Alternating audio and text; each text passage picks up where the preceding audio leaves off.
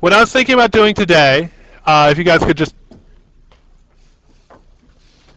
was talking primarily about the project because I'm sure that has occupied a significant fraction of your thought processes over the last couple of days, and it will continue to occupy a significant fraction of your thought processes over the next couple of days.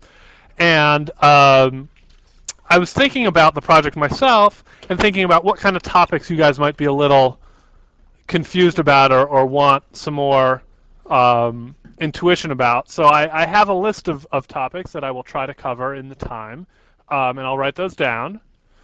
And so that is, so a couple of different blocks. For that diff pair uh, circuit with the differential to single-ended conversion, calculating swing. I assume this is big enough. Like people were telling me that I wasn't writing big enough last time. This is good.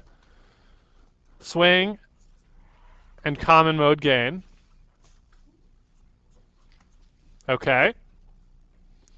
Um, invariably, as uh, Professor Brodersen mentioned the other day in lecture, you're gonna you're not gonna be able to do all this amplification. You're not gonna be able to meet all the specifications in one stage of an amplifier. So it's going to be at least a two-stage amplifier. So actually, let's say multi-stage amplifier. On that, um, figuring out how to sort of the bias interconnect, how to how to size the devices and the bias currents such that uh, things just kind of work well together. Then for the output stage,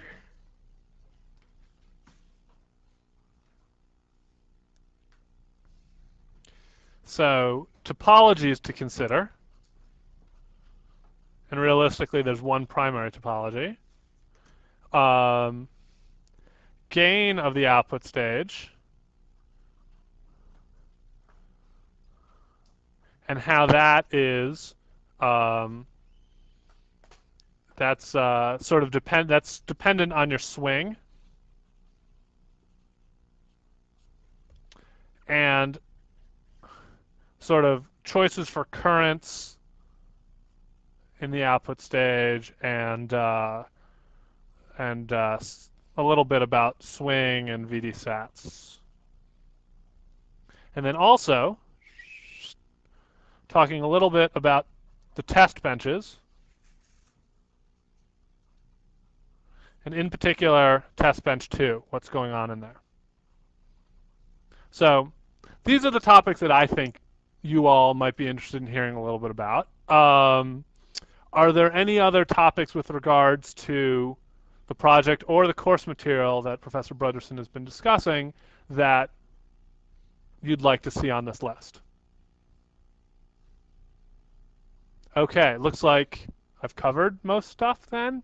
So just by a quick show of hands, um, which of these do you most want me to spend the most amount of time on? So let's go through each of these and I'll tailor my section discussion based on, on what gets the most, the strongest response. So just by a show of hands, and you can vote for more than one, um, who really wants to see the stuff on the diff pair swing and common mode gain analysis? Okay, just about everybody. Who wants to see stuff on the multi-stage amplifier and how to inter how to set up biases and currents to get the interconnect working? Okay, almost everybody. Who wants to see stuff about the output stage? Right on. You know, I'm really glad because what this means is that I picked the right topics. And who's curious about the test benches? Anyone want to flip a coin? Um, so we'll just we'll just go in it looked as if the diff pair and the output stage were the most interesting or relevant or whatever. So let's start talking about the diff pair. Okay, and because I'm choosing to, uh, I'm going to draw this as a PMOS amplifier. Okay, so it's a diff differential, a single-ended thing, right? So you've got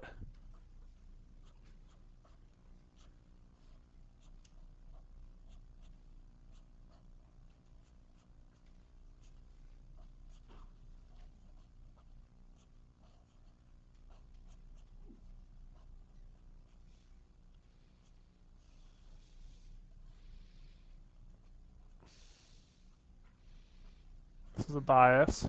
This is going to be VIC plus VID over 2 VIC minus VID over 2 V out.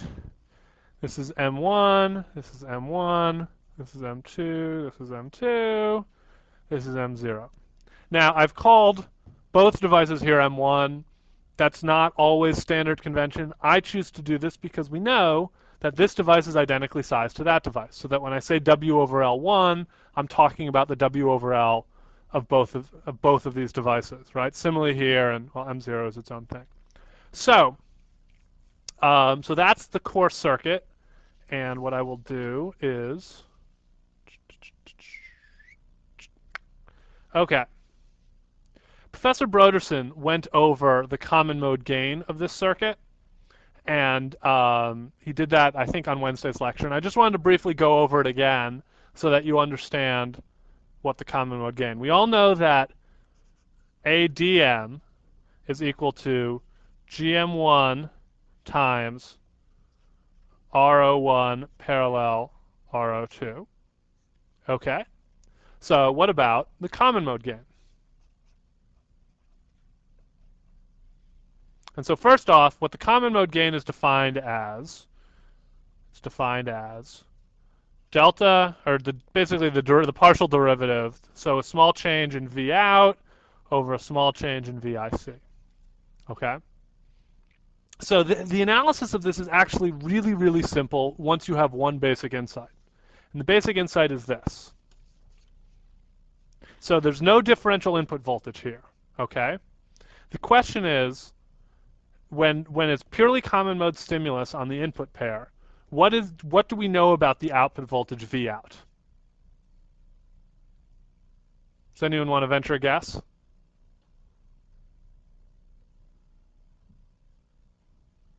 All right, well, in the interest of time, I will answer my own question. Um, volunteering is always encouraged. The voltage at V out is going to be equal to the drain voltage over here. If we let's call this Vx. Vx is going to be equal to V out. Now, why is that? It's because the circuit is perfectly symmetrically stimulated. It's got a, it's got everything is perfectly symmetric. We know that. So let's look at M1 first. The voltage at the source of M of M1 left and M1 right is equal. The voltage at the gate of M1 left and M1 right are also equal. Okay. The voltage at the gate of M2 left and M2 right are equal. So these guys have identical VGSs. So because of that, basically the currents in, in these two devices are going to be equal, which means that the currents in these two devices are going to be equal. And the only way for that to be perfectly maintained is for this volt, the VDS of this device and this device to be equal, similarly this device and this device. So you can sort of see that the only way for symmetry to be maintained is for V out to exactly equal Vx. Okay? So because of that, we can make this connection. Okay? And I'll put this in parentheses because usually that's not there. And then once we do that, we can do this. And Bob went one way, I'm going to go another way. I'm going to go to the half circuit. Yes? Purely common mode. So all right, so what we can do is we can split, this is M0, this is a half unit of M0. We're splitting M0 in half. This is M1, M1, M1.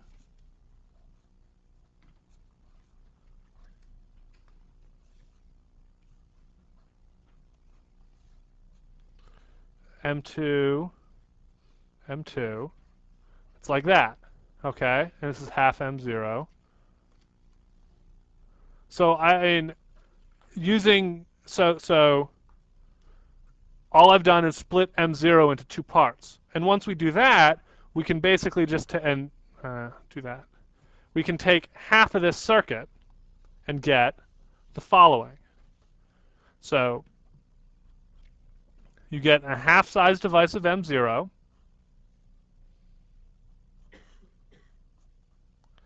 VIC M1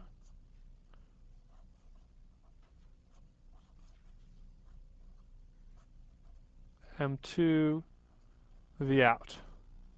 This is the common mode equivalent circuit. The common, that, the common mode equivalent half circuit. Does everyone get how I got to that? Yeah? Good.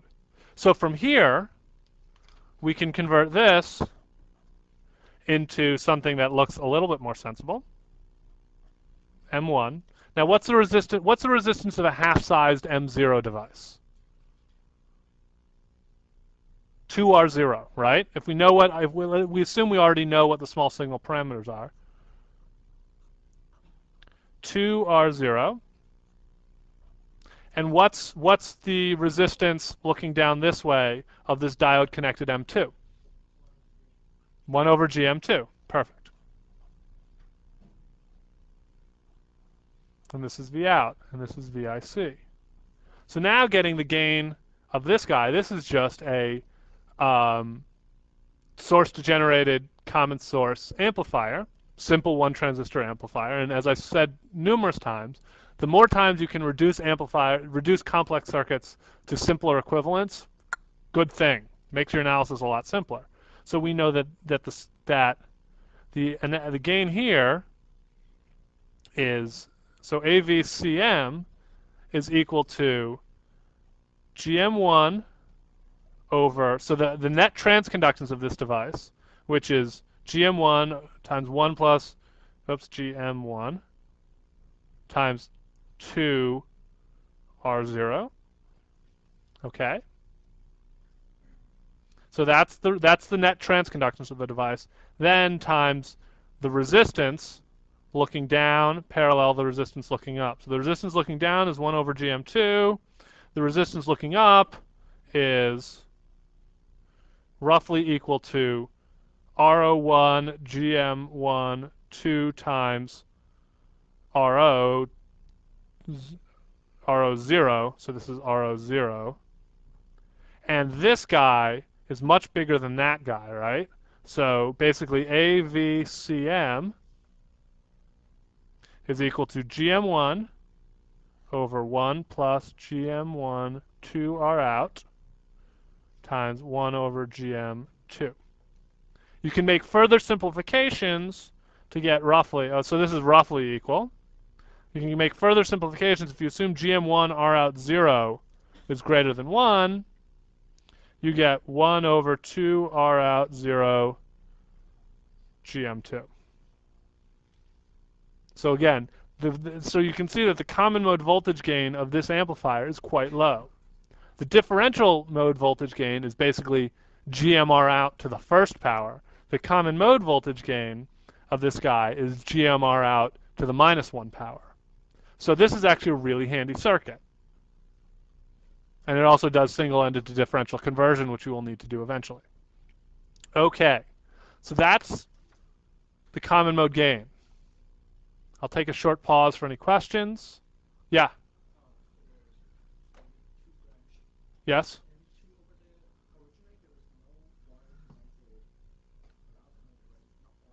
It's not diode connected, but what I showed before on this slide is that you can place basically a virtual diode connect here when when the input when the input on the when when the input stimulus is purely common mode. So it's not diode connected, but it acts as if it is.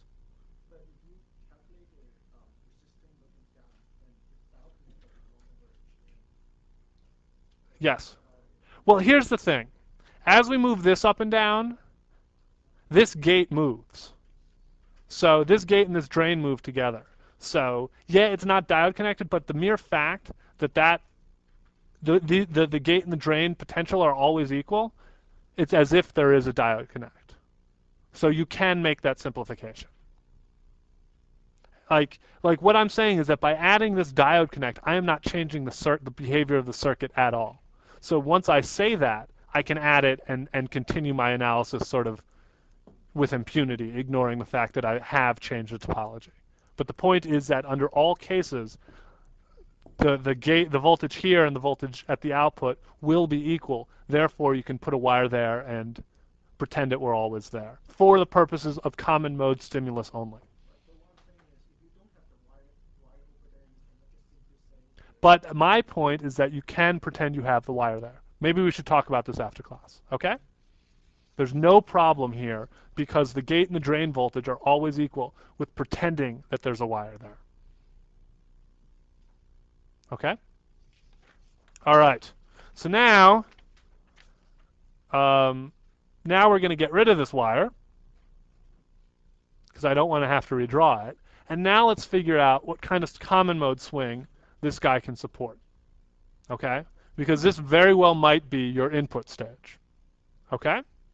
So, um, first things first, remember that the output voltage swing is plus minus 300 millivolts, right? And the gain has to be greater than 1,000, which means that the input swing is going to be less than 300 microvolts. So for the purposes of this analysis, the input swing is really, really small, and we can ignore it. Okay? Because all we're doing is figuring out what common mode swing we can support. All right. So now, in order to figure out what common mode swing the circuit can support, you need to figure out what the maximum allowable common mode voltage is and the minimum voltage. Do the subtraction, you've got your range, okay? So let's do it one at a time.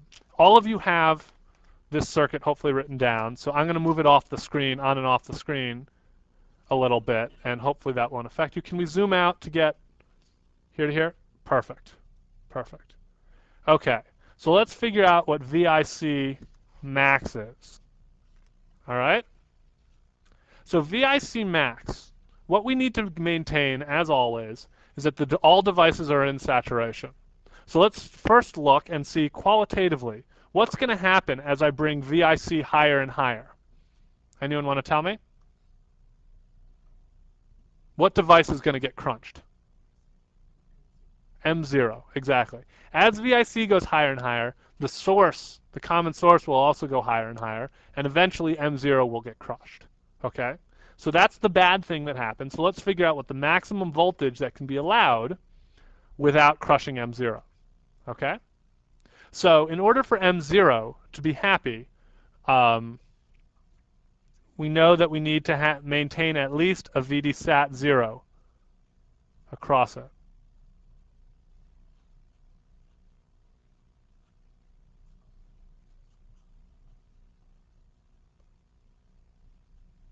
Okay?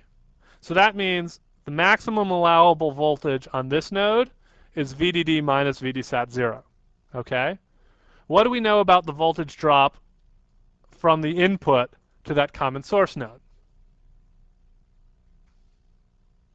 Anyone? Not tricky.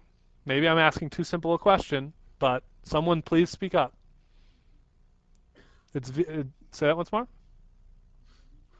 It's certain you need at least a VT, but what else? VDSAT. You need basically this is VGS1, which is by definition equal to v, I'll draw bigger. VGS1 is equal to VT1 plus VDSAT1. Therefore, in order to keep everything happy, and remember that VT might be bias dependent depending on whether or not you have that source bulk connection. So VT is not necessarily 300 millivolts. So, so that means that we've got at least this voltage here and this voltage here. That means VIC max is equal to VDD. Then you just sort of subtract all the necessary voltages. Minus VD sat 0 minus VT1 minus VD sat 1. Now, I mentioned this in section, I'll mention it again. With PMOS devices, all of these quantities are actually negative we're treating them as positive. So just, just to remove any possible ambiguity, let's do that. Absolute value. Okay? That was simple. Now, let's look at, let's look at this device. And let's figure out VIC min. So that's VIC max. Okay? So now let's look at this amplifier we bring the common mode inputs lower and lower and lower and lower and lower. What device is going to get crunched?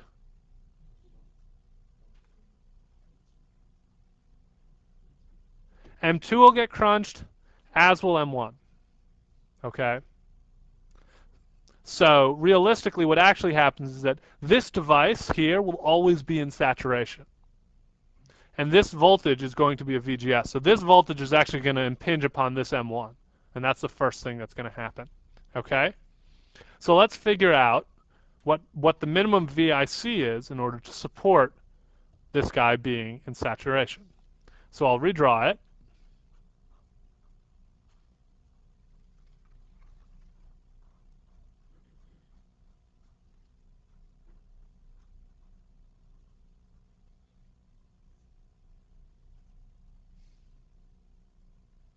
Okay, so what do we, what can we say about the voltage here?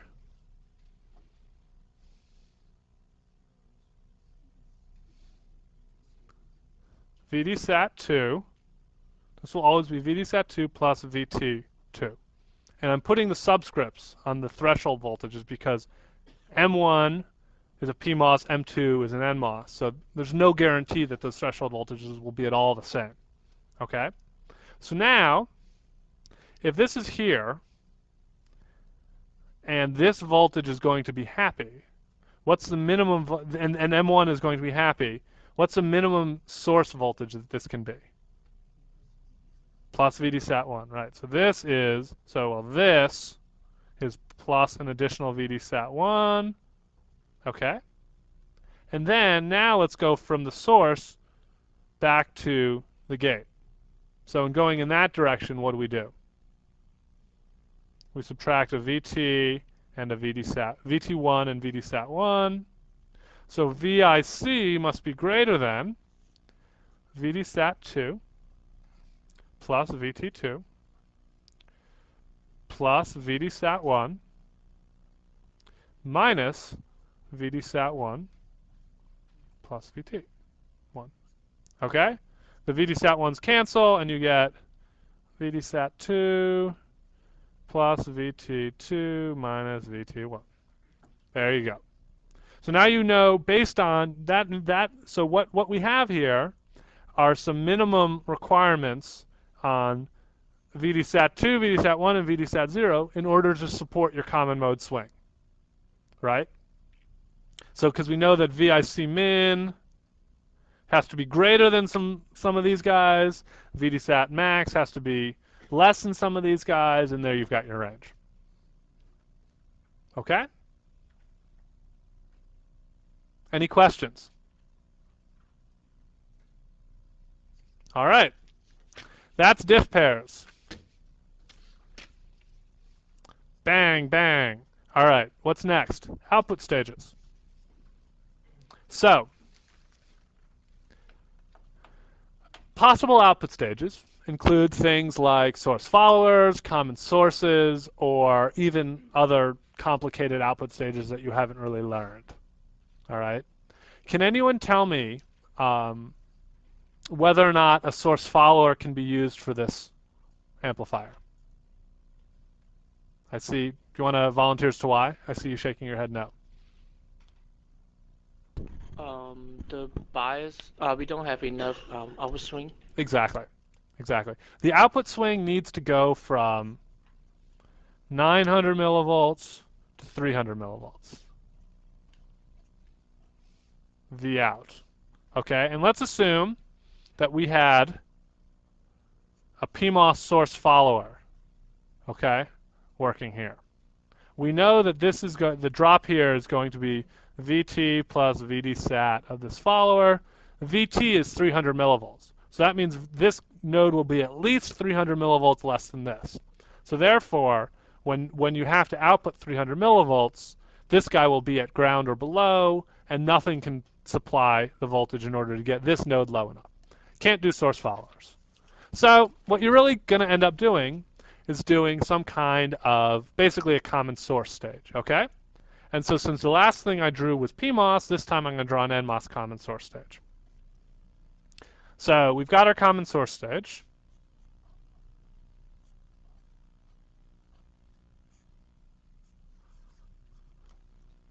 And I'm drawing the whatever is supplying the bias just as a current source because, well, I want to. Um, So this is RL equals 1 kilo ohm. And this connects to VDD over 2, which is equal to 600 millivolts. All right. So now we've got this.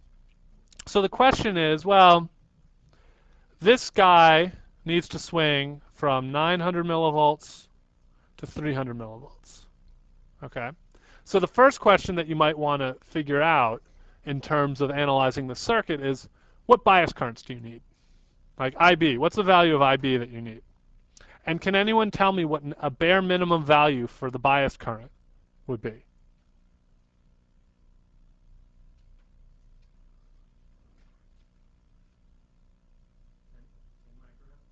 10 microamps. Okay, so let's see what would happen if, if the output stage were 10 microamps. When this thing swings to um, 900 millivolts, okay, what's gonna what what current is going to be flowing across this resistor? It's going to be 300. There's going to be 300 millivolts across the resistor, so there's going to be 300 microamps flowing in that direction, right? By KCL, and let's call this, if we call this device M7, just for the hell of it, this is I7. By KCL, IB equals 300 microamps plus I7. If IB were only 10 microamps, I7 would have to be negative, so therefore, and I7 can't be negative, NMOS devices can only sink current. So therefore, at a bare minimum, IB has to be greater than 300 microamps. Okay? Either that or you need to figure out a way, if you wanted to do a more complicated stage and, and, and do some analysis and make a circuit that we haven't analyzed in class yet, make a way for IB also to be signal dependent. Okay? It's not necessary for this course. If you do it and do it well, you could get some extra credit because you're, it's conceivable that you could consume a lot less power but only do that after you've figured out, like more important, figure out the basics of the circuit. Okay? So IB has to be greater than 300 microamps. Now, something else to keep in mind is what's the, so now actually instead, let's pretend that this is a, let's call this M6.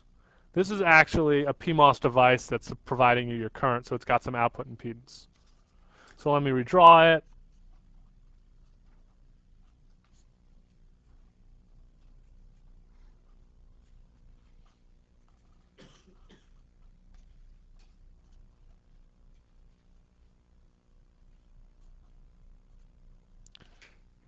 What's the gain of this circuit?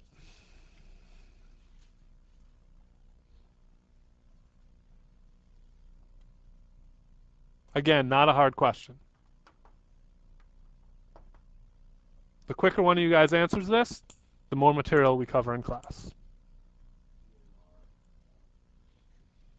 GM7 times RL. It's actually RL parallel with RO7 parallel RO6. Right. AV. Now, realistically, RL is 1 kilo ohm.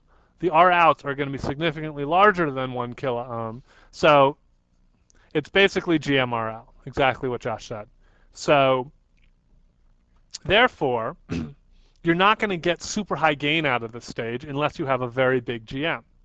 So having more current might give you a better G might give you a bigger GM and provide higher gain through this stage. So you might not want to go with the bare minimum.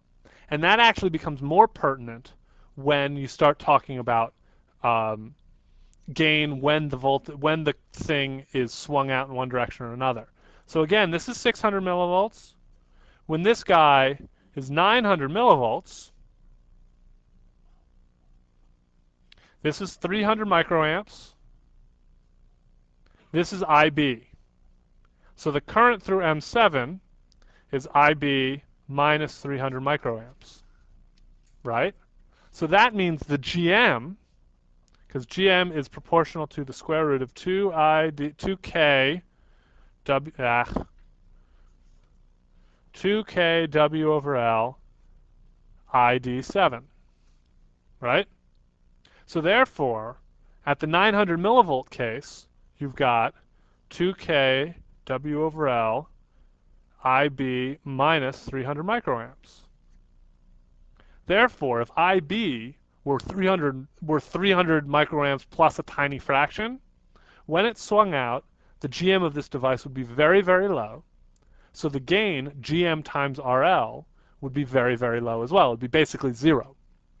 So therefore, you need a little bit more current in order to have the gain, uh, in order to not lose a tremendous amount of gain when you're swung out. And so using, using more current will mean that the GM is affected less proportionally, so therefore your gain is still maintained, but using more current means more power, and hence your figure of merit will be uh, degraded somewhat.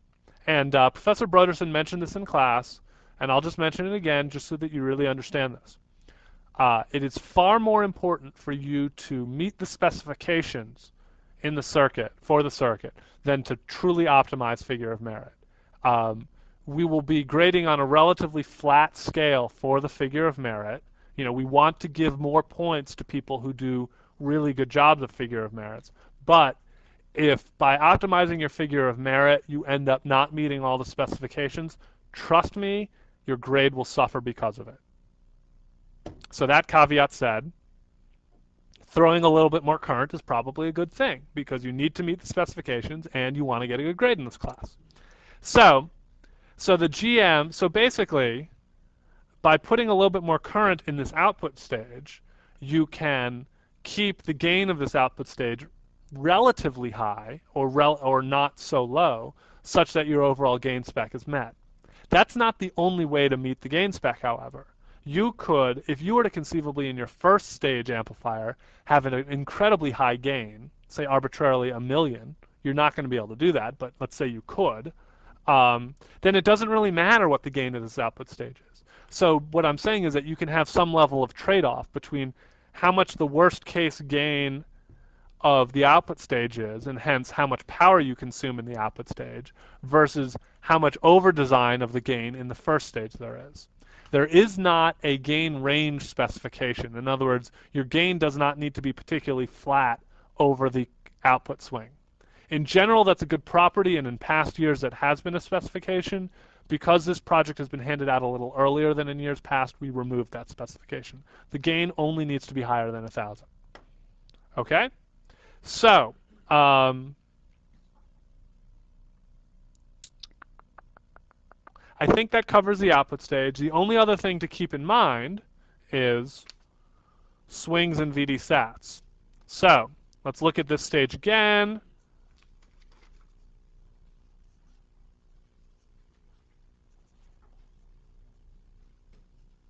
So M7, M6. So obviously the swing of this circuit is basically, you know, VDD minus VDSAT 6 minus VDSAT 7. Pretty obvious. But the, th the, the one tricky business is that this swing, like, so V min, so V min of the output is equal to VDSAT 7, right? So that would mean, okay, you look at this and say, I need to get this output voltage to 300 millivolts. Therefore, VDSAT 7 has to be no bigger than 300 millivolts. That is true, but remember that when this is at 300 millivolts, this will be IB. Now there will be 300 millivolts, 300 microamps flowing in that direction. So now I7 is equal to IB plus 300 microamps. And VDSAT 7, in terms of current and the device size, which is what you have control over, is equal to 2I7 over K prime W over L. So I7 is IB plus 300 microamps. Yeah, thank you. So therefore, basically, again, if, if IB is, is relatively low, like 300 microamps, then when you throw that additional 300 microamps, your VDSAT's going to double. Or excuse me, not double, increase by root 2. So the more current you throw at it in the bias condition, the less change there is in VDSAT. So there are, there are ways to design it such that you don't want to throw too much current because then you'd require a lot of area. But again, it's a basic trade-off of how much current your output stage meets, it consumes, and how that impacts on the specification.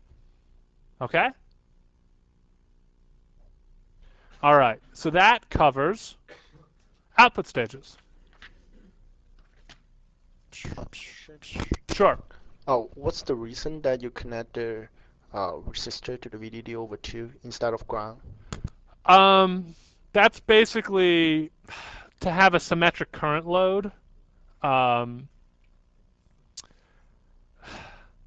the uh, I mean, what what's been done in years past has also been having the positive supply be connected to VDD over 2, the negative supply connected to minus VDD over 2, and then the load connected to ground. It's the same thing, right? It's just everything shifted up. And the reason why is so that that, that resistor sources and sinks current rather than just goes in one direction. And that, that forces a, some additional constraints on your output stage. Because realistically, loads will tend to be symmetric. Like if you have a, if you source a certain amount of current into a load, then you'll have to sink it out of the load as well. That that same amount. So that's just the way that's the way we did it to to do it. Okay. Um, quick show of hands. Who wants to see the multi-stage amp bias interconnect first, and who wants to see the test bench first? So multi-stage amp. In other words, how to connect up multiple stages of amplifiers such that in their nominal bias condition they work. Who wants to, see me talk about the test benches? All right, multi-stage amps it is. All right, so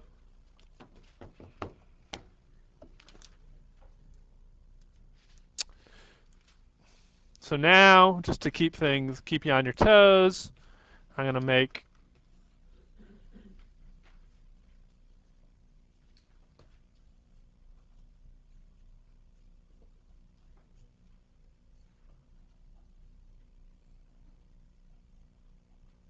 So the first stage, so we're going to do a, an example two-stage amplifier.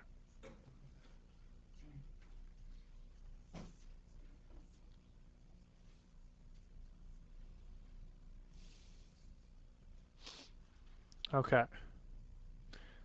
And so this might very well be your input stage, right? Now, you're not going to be able to get all your gain and all your swing out of this stage. You're simply not going to be able to, to do it. You're going to need a second stage. And so that second stage very well may be a, uh, a common source stage. Okay, I mean that's kind of what we concluded in our previous discussion. So so if we have this as our input stage, NMOS input stage, any do you do you have any sense as to what would make a better output stage? Should the output stage be a PMOS common source or an NMOS common source? PMOS. Why?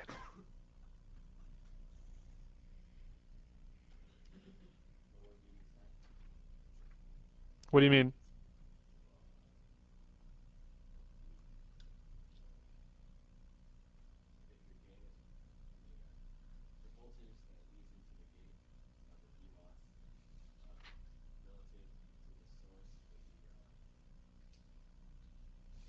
Yeah, you're, you're, you're, you're absolutely on the right track. So I'll help you along a little bit. So basically, as we discussed before, when these two voltages are equal, the voltage here will be equal to the voltage here, which is equal to the voltage here. So let's call this V mid, and let's call this V mid will equal Vx, right? And Vx happens to be a pretty well-controlled voltage. It happens to be uh, the voltage such that the VGS across M2 sources a known amount of current. So we've we've designed M0 to source. I'm going to call this 2 ID. Okay, so ID flows here, ID flows here, ID flows here, and here. So what we know now is that V Vx is the right voltage to put on the gate of a transistor to source ID. We may as well use that elsewhere. We may as well use that on another PMOS transistor. So what would be very sensible to do, if this is W2 over L2, is to make M3 ratioed to M2. Make it K times W2 over L2. So it's it's basically putting K parallel devices, K devices in parallel of type M2. Okay? So what's the current, the bias current of M3 going to be? K times ID. Let me draw this here.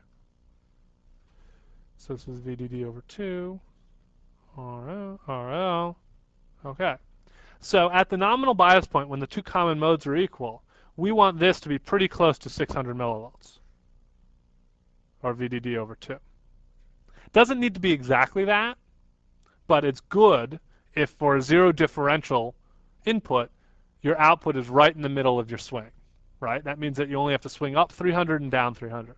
Whereas if this were like at 800 millivolts, then you'd have to swing up 100 to get to 900 and then swing down 500. And that's, it's just kind of imbalanced, okay?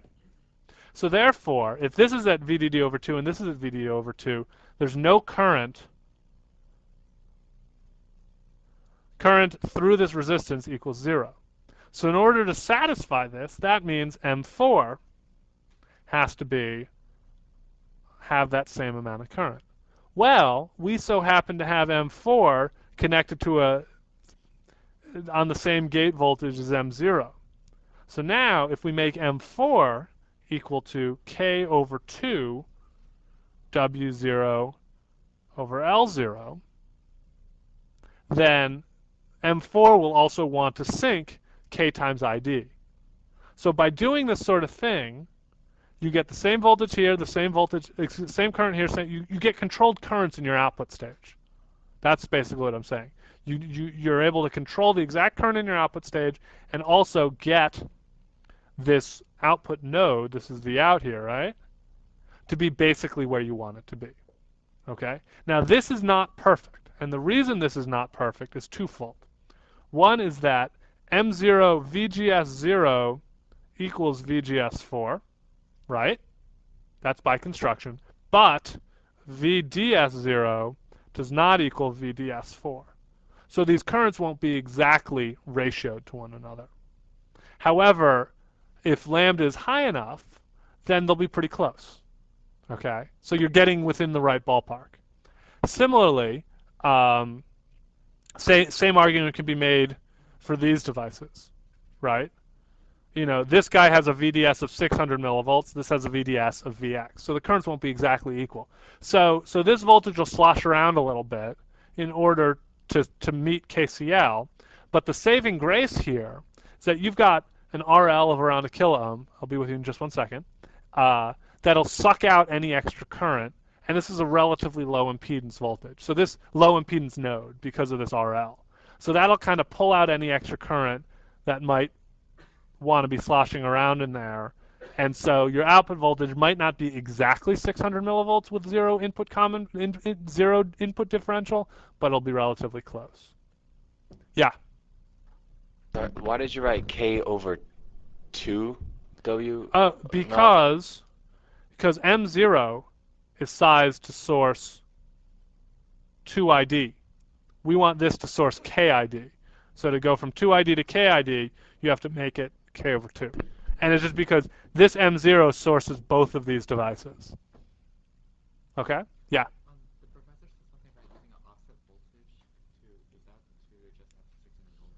Yeah, yeah, you know, he allowed you to do that. I don't think you need it. I didn't need it. I did this. I've done this design problem. So what, what he said is if you want to, so these are your input nodes, right? And in the handout, it says in pretty big letters, no voltage sources or current sources are allowed within your subcircuit, period, the end. That policy has been changed slightly in that you are allowed one voltage source of absolute value less than a millivolt to put a small differential tilt in this amplifier to get the output to what exactly what you want it to be. You don't need it. But if it really makes your life easier, do it. If you really need it, however, my personal opinion is that you're probably there's probably something else in your circuit that isn't quite right that you should be spending more time, more attention with, rather than using this to fix it. Yeah. Yeah, I mean, yeah, you, but that's not, that's not a strict requirement of this of this amplifier. And if you want to do it just for your own sake, and chances are that if you don't do it, this output voltage will be, I don't know, probably 620 millivolts, which means that 20 microamps is being sourced through this resistance. And the mismatch between these two currents, if you're talking about in the ballpark of several hundred microamps, the mismatch between these two will not be more than a few tens of microamps. So realistically, it might be off by a little bit, but it's just not the end of the world. Okay, so that covers the bias interconnect. Um, finally, last topic, and it looks like we'll just get to it, and I may run two or three minutes over, but you guys should be used to that by now. Um, is a test bench, and I need to get the test bench.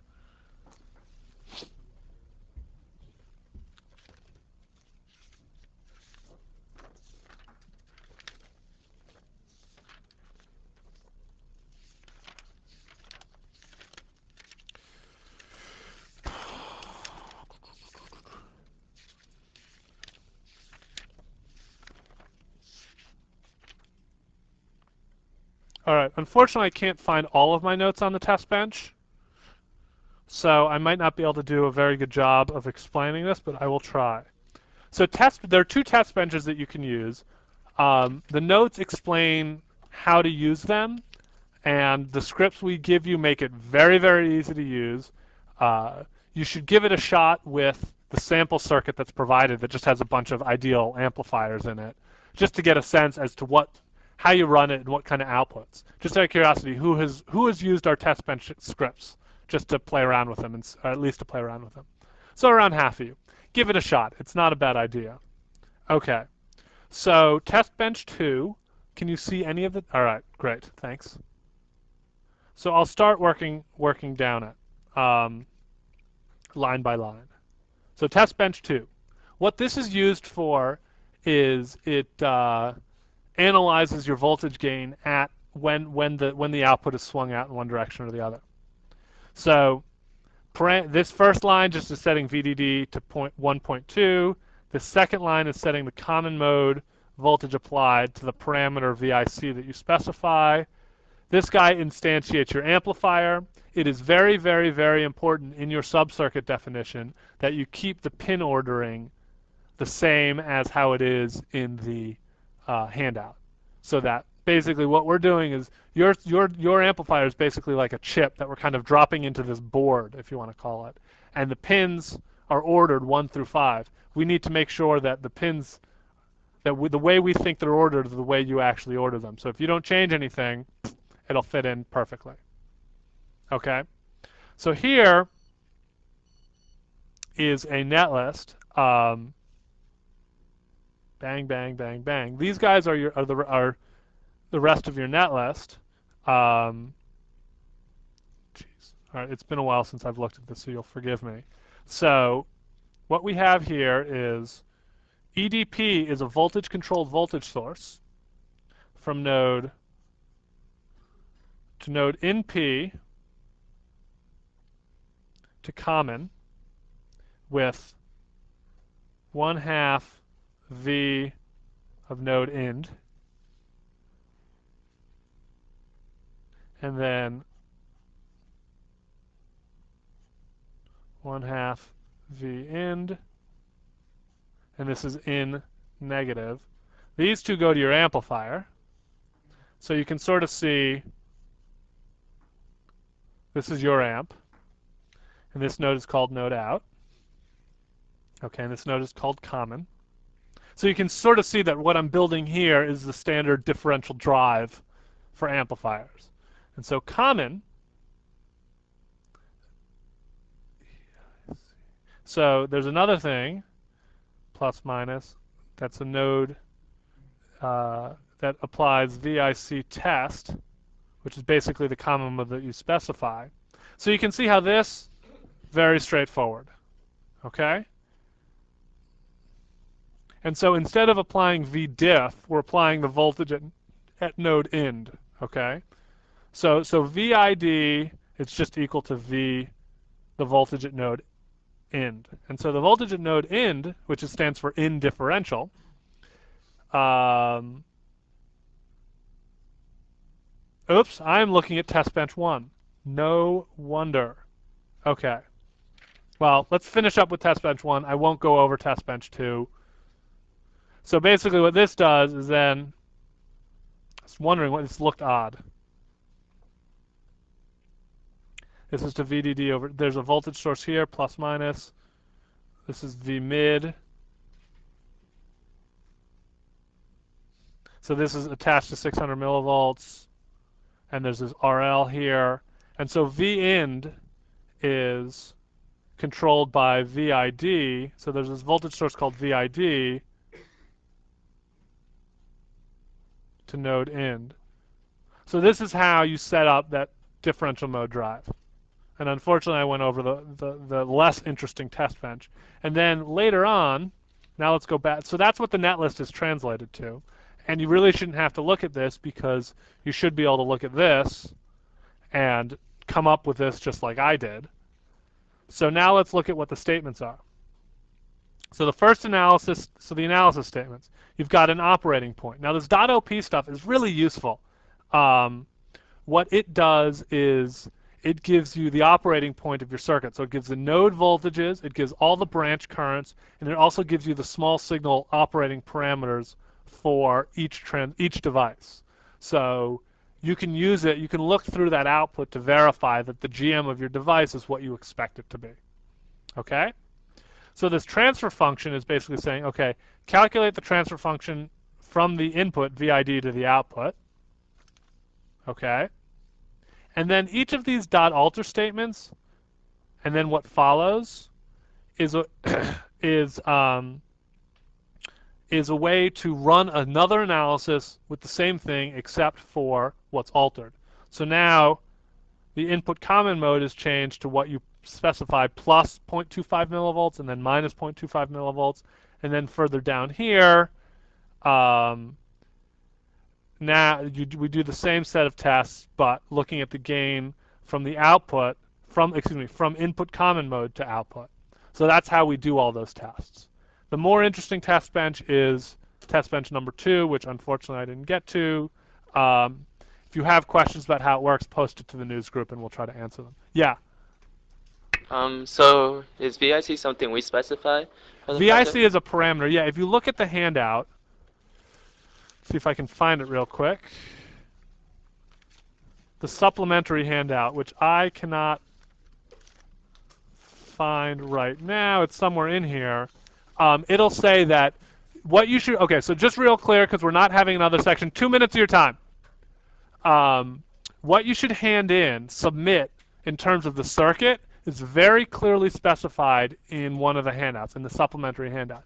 You should be handing, you should be emailing to us a circuit, uh, an email with the sub-circuit definition and the dot param statement of what your input common mode voltage should be. The format is very clearly specified. Make sure you follow that. Make sure that the names of all the people are in the in the title, excuse me, in the subject name, names of the two people working on the project or one person is in the subject line of the email and nothing else. Mail it to EE140 at Cory, um, and the only thing in the body should be the sub the the, the text that's specified there. Um, anything else with that? One email per group. Yeah. Um, I don't know that we necessarily we don't really have the infrastructure set up to keep track of multiple submissions. So please try to make your one submission your one submission. Don't send other emails to EE140. The only purpose of that mailbox is for the project submission. Also, we will be evaluating your circuit based on the performances of the test benches that we have provided. As a final sanity check, it makes sense for you to make sure you pass all the specifications. For those of you who have not tried running the test benches, it really provides some really nice functionality. If you pass the specs, you'll get green text that says OK. If you don't pass, you'll get red text that says failed. And if your circuit doesn't work, you'll get red text indicating that your circuit doesn't work. So you want to see a bunch of green text that says OK on all the specifications. If you do that, and if you haven't you know, included little voltage sources or done little cheats in your sub-circuit, you're in really good shape. Okay? Have a good weekend. Good luck on the project. Email questions.